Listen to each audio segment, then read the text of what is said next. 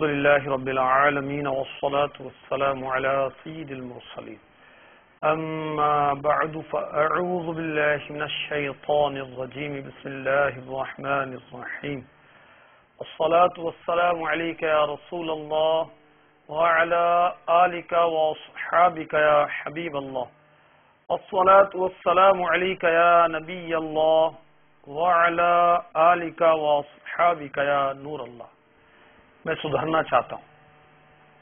یہ میرے شیخ طریقت امیر اہل سنت، حضرت علامہ مولانا محمد الیاس عطار قادری رضوی ضیائی دامت براکاتہم العالیہ کا رسالہ ہے۔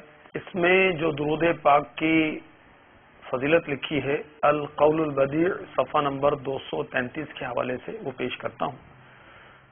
حضرت سیدنا امام سخاوی رحمۃ اللہ تعالی علیہ نقل فرماتے ہیں۔ سرکار دو عالم صلی اللہ تعالی علیہ وآلہ وسلم نے ارشاد فرمایا، جس نے مجھ پر ایک بار درود پاک بھیجا، اللہ عز و جل اس پر دس رحمت نازل فرماتا ہے۔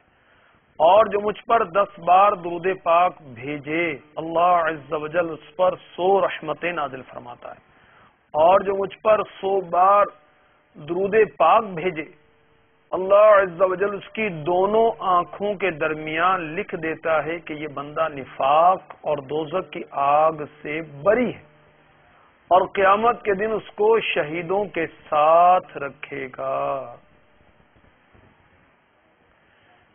ہے سب دعاؤں سے بڑھ کر دعا، درود و سلام کہ دفع کرتا ہے ہر ایک بلا، درود و سلام۔ صلو علی الحبیب صلی اللہ تعالی علی محمد وعلی آلہ وصحبہ وبارک وسلم مدری چینل کے ناظرین، معراج مصطفیٰ سلسلے میں آپ کو خوش آمدید کہا جاتا ہے۔ معراج مصطفیٰ کی کیا بات ہے؟ شب اسرا کے دولہ صلی اللہ تعالی علیہ وسلم کو اللہ تبارک و تعالی نے وہ مقام عطا فرمایا، وہ قرب عطا فرمایا جو نہ کسی کو ملے نہ کسی کو ملا۔ جب میرے پیارے آقا شب اسرا کے دولہ حبیب کبریا صلی اللہ تعالی علیہ وآلہ وسلم معراج سے واپس ہوئے، تو مزید چینل کے ناظرین، کون کون سے واقعات رونما ہوئے؟ انشاءاللہ عز و جل، اس میں سے کچھ آپ کی خدمت میں عرض کیا جائے گا۔ شب اسرا کے دولہ صلی اللہ تعالی علیہ وآلہ وسلم ارشاد فرماتے ہیں، نیت المؤمن خیر من عمل ہی مسلمان کی نیت اس کے عمل سے بہتر ہے۔ اللہ تعالی کی رضا، خوشنودی کے لیے اور حسب حال اچھے اچھی نیتیں کیجیے ثواب کی نیت کیجیے علم دین حاصل کرنے کی نیت کیجیے اہم مدنی پھول لکھنے کی نیت کیجیے اللہ نصیب فرمائے۔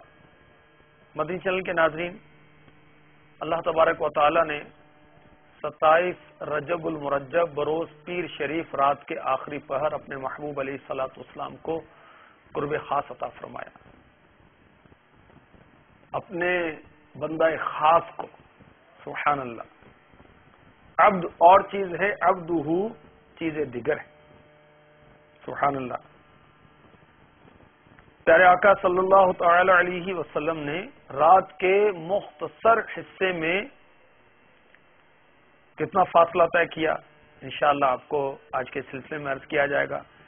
زمین سے سدرت المنتہا کا فاصلہ کتنا ہے؟ جانے اور آنے میں کتنا وقت لگا؟ فاصلہ کتنا تھا؟ یہ بھی عرض کیا جائے گا۔ ابو جہل جو کہ دشمن خدا و مصطفیٰ ہے، اس پر کیا اثرات مرتب ہوئے؟ واقعہ معراج کے اور صدیق اکبر رضی اللہ تعالی عنہ پر کیا اثر ہوا؟ آپ نے کیسے تصدیق کی؟ میرے اکالی سلاط والسلام کو راستے میں جو قافلے ملے، آپ نے ان کا حال بیان کیا۔ انشاءاللہ عز و جل یہ بھی آپ کی خدمت میں عرض کیا جائے گا۔ اعلی حضرت کیا خوب فرماتے ہیں؟ بندہ ملنے کو قریب حضرت قادر گیا۔ لمعائے باطل میں گمنے جلوائے واہ گیا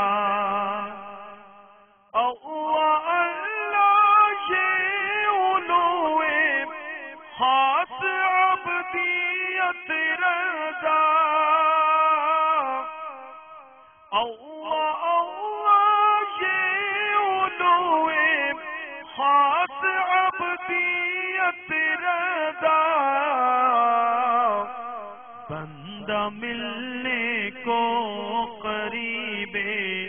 حضرت قادر گیا۔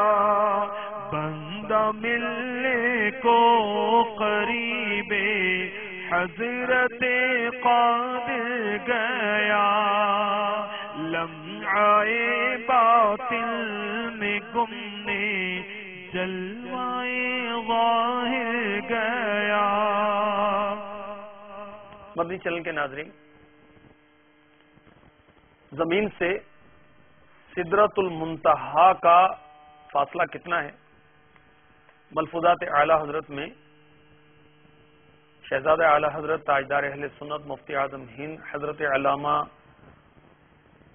محمد مصطفیٰ رضا خان علی رحمت الرحمان اعلی حضرت عظیم البرکت، عظیم المرتبت، مجدد دین و ملت پروان شمع رسالت امام احمد رضا خان علی رحمت الرحمان کا ارشاد نقل فرماتے ہیں۔ زمین سے سدرت المنتہا تک پچاس ہزار سال کا راستہ ہے۔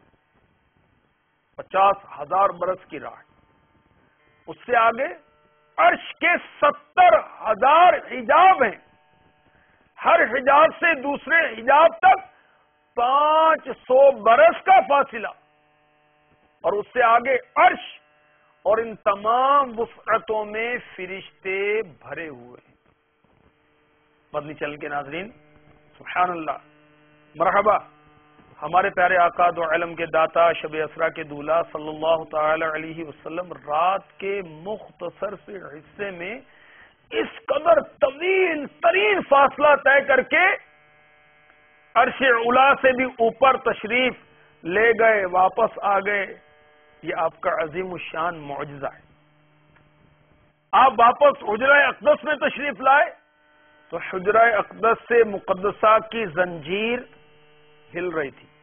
انوار جمال مصطفیٰ میں رئیس المتکلمین اعلی حضرت کے والد گرامی نے یہ لکھا ہے۔ اور انوار جمال مصطفیٰ میں ہی یہ بھی ہے کہ ظاہر یہ واقعہ اس عالم سے علاقہ رکھتا ہے یعنی تعلق رکھتا ہے، اور وہاں کا ہر کام تھوڑے عرصے میں ہو سکتا ہے۔ جبریل امی علیہ السلام ایک آن میں آسمان سے زمین پر آتے ہیں۔ اسرائیل علیہ السلام، ملک الموت علیہ السلام، روح قبض کرنے والے فرشتے۔ ایک وقت میں سدہا اروا مشرق میں سدہا مغرب میں قبض کرتے ہیں۔ یہ عزیز حضرت کے والد فرما رہے ہیں۔ یہ عزیز انسان کی نظر ایک آن میں آسمان تک پہنچتی اس جسم مبارک نے، ہمارے اکالی سلاط والسلام کے جسم مبارک نے، کہ ہزاروں درجے نظر سے لطیف تر ہے۔ اگر تین چار ساعت میں آسمانوں سے تجاوز کیا تو کیا تعجب ہے۔ سبحان اللہ۔ واپس آئے، کلی دل کی کھلتی رہی۔ واپس آئے میراج کے دلہا۔ واپس آئے، کلی دل کی کھلتی رہی۔ بسترا گرم زنجیر ہلتی رہی۔ خوب یہ موجزہ آج کی رات ہے۔ شادو بنا آج کی رات ہے۔ مرحبا مرحبا مرحبا مرحبا مرحبا مرحبا مرحبا مرحبا مرحبا مرحبا۔ مندی چل کے ناظرین۔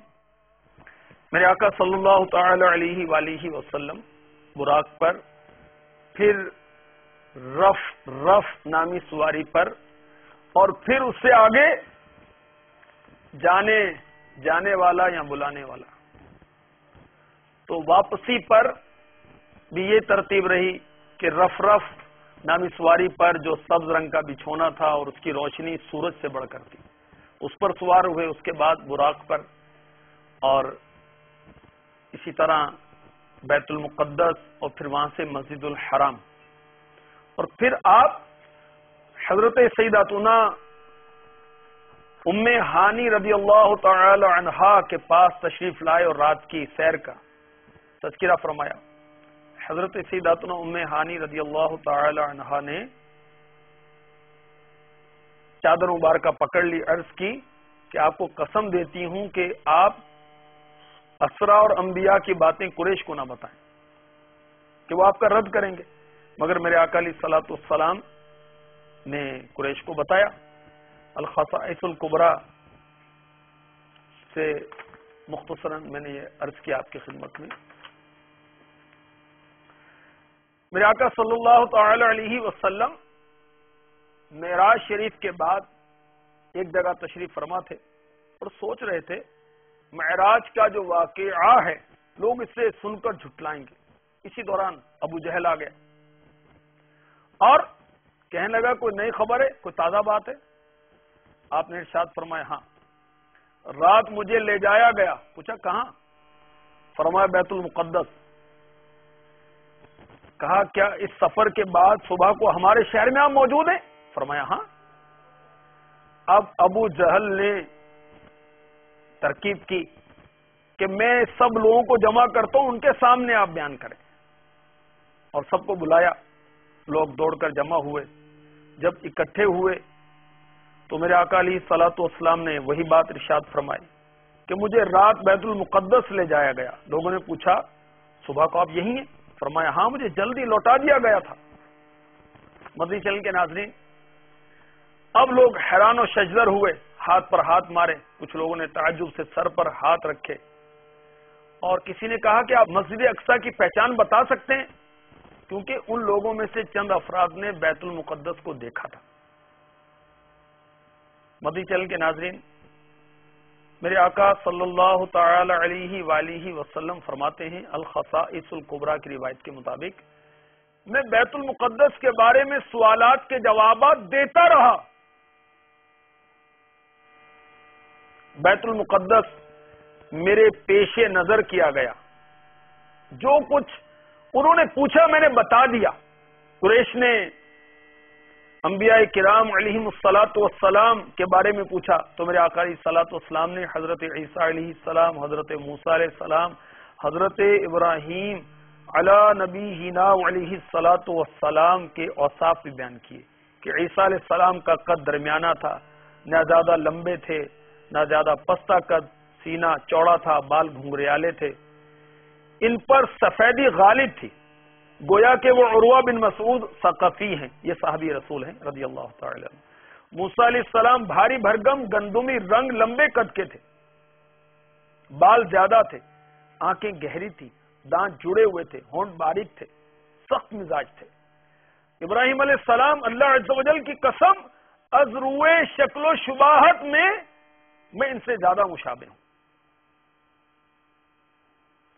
میرے آقا علی سلاۃ والسلام نے جو راستے میں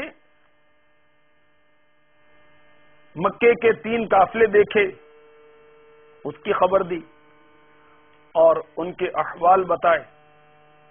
جب لوگوں نے پوچھا کہ یہ قافلے کب پہنچیں گے تو فرمایا یہ کل صبح، اور ایک روایت میں ہے کہ میرے اکالی سلاط اسلام نے کفار مکہ کے پوچھنے پر ارشاد فرمایا، بدھ کے روز۔ اب بدھ کا روز آیا۔ خصائص القبرہ میں حضرت علامہ جلال الدین سیوتی شافعی علیہ رحمۃ اللہ کبھی لکھتے ہیں۔ قریش قافلے کی راہ تکنے لگے۔ غروب آفتاب کا وقت قریب ہو گیا۔ قافلہ نہیں پہنچا۔ شب اسرا کے دولہ صلی اللہ تعالی علیہ وسلم نے اللہ تعالی کی بارگاہ میں دعا کی۔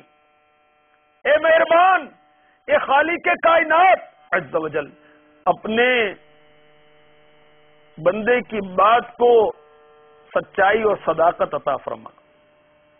دعا قبول ہوئی اور ایک گھڑی دن بڑھ گیا۔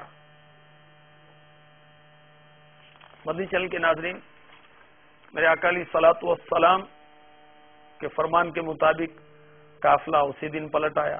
ایک روایت میں ہے جو کہ مستدرک صحیح حدیث نمبر چار ہزار پانچ سو پندرہ میں ہے، اس کا خلاصہ ہے کہ میرے اکالی سلاط والسلام کو جب معراج ہوئی تو آپ نے اگلے دن لوگوں کے سامنے مکمل واقعہ بیان کیا۔ مشرقین دوڑتے ہوئے صدیقی اکبر رضی اللہ تعالی عنہ کے پاس پہنچے، کہنے لگے، کیا آپ اس بات کی تصدیق کر سکتے ہیں جو آپ کے دوست نے کہی کہ راتوں رات مسجد حرام سے مسجد اقسا کی سیر کی؟ پتا کتنا فاصلہ ہے، ایک ماہ کا راستہ ہے۔ تو لوگوں کو یوں تعجب ہوا صدیق اکبر رضی اللہ تعالی عنہ نے فرمایا کیا واقعی پیارے آقا صلی اللہ علیہ وسلم نے بیان فرمایا لوگوں نے کہا جی ہاں۔ فرمایا، اگر میرے آقا صلی اللہ علیہ وسلم نے ارشاد فرمایا تو یقیناً سچ فرمایا ہے۔ میں ان کی بات کی بلا جھجک تصدیق کرتا ہوں۔ لوگوں نے کہا کہ آپ اس حیران کن بات کی بھی تصدیق کرتے ہیں کہ آج بیت المقدس گئے صبح ہونے سے پہلے واپس بھی آ گئے۔ فرمایا جی ہاں میں تو آپ صلی اللہ علیہ وسلم کی آسمانی خبروں کی صبح و شام تصدیق کرتا ہوں۔ اور یقیناً وہ تو اس بات سے زیادہ حیران کن اور تعجب والی بات ہے۔ صدیق اکبر رضی اللہ تعالی عنہ نے واقعہ معراج کی تصدیق کی تو آپ صدیق مشہور ہو گئے۔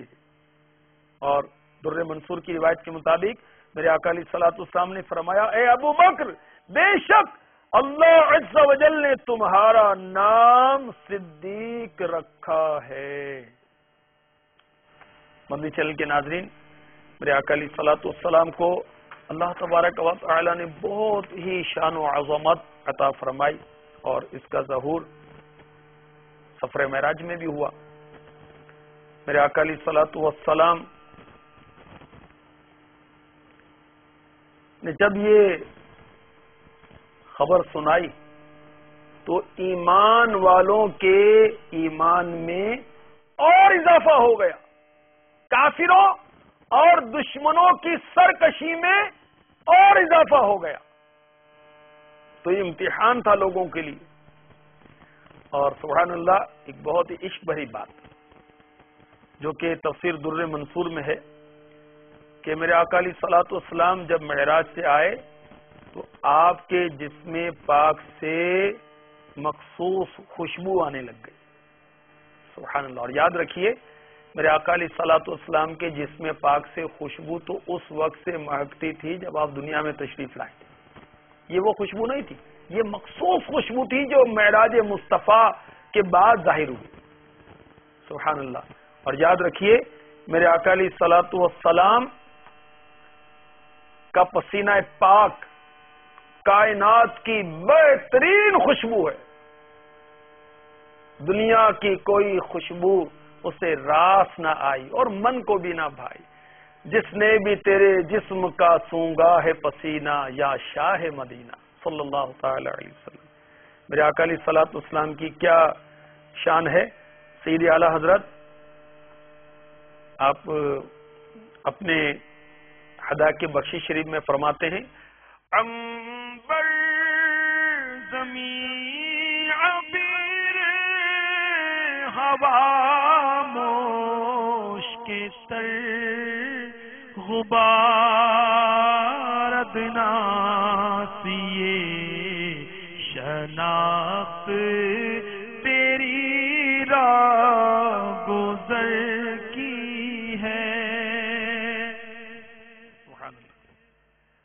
ہمارے اکالی سلاط اسلام جہاں سے گزر جاتے ہیں، وہاں کی ہوا بھی معطر ہو جاتی ہے، وہاں کی گرد بھی معطر ہو جاتی ہے، وہاں کی زمین بھی معطر ہو جاتی ہے اور یہ پہچان ہوتی ہے کہ یہاں سے اللہ کے محبوب شب اسرا کے دولہ گزرے اور روایات موجود ہیں۔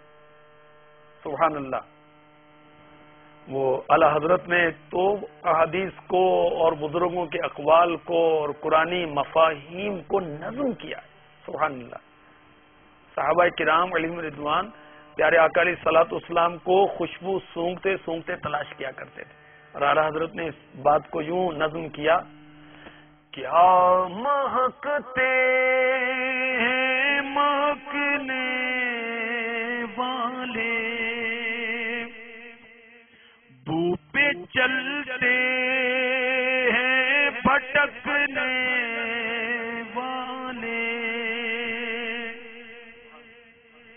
اکالی سلاط اسلام کی مہک ایسی ہے کہ صحابہ کرام علیہم ردوان پیارے اکالی سلاط اسلام کو وہ خوشبو سونگتے سونگتے تلاش کر لیتے۔ اللہ ہمیں بھی یہ خوشبو سونگا دے۔ آمین۔ مدی چل کے ناظرین، انشاءاللہ عز و جل کل کے سلسلے میں آپ کو وہ قرآن آیات پیش کی جائیں گی جس میں معراج مصطفیٰ کا بیان ہے۔ اور اس کے ضمن میں انشاءاللہ قرآن آیت جو سورہ بنی اسرائیل، جس کو سورہ اسرا بھی کہتے ہیں، اس کی پہلی آیت میں جو آغاز ہوا سبحان سے، اس میں کیا حکمت ہے؟ معراج رات کو ہوئی، اس میں کیا حکمت ہے؟ انشاءاللہ عز و جل یہ کل کے سلسلے میں آپ کو عرض کیا جائے گا۔ مدنی چینل دیکھتے رہیے، غیبت کے خلاف جنگ جاری رہے گی، انشاءاللہ عز و جل۔ صلو علی الحبیب، صلی اللہ تعالی علی محمد۔ یہ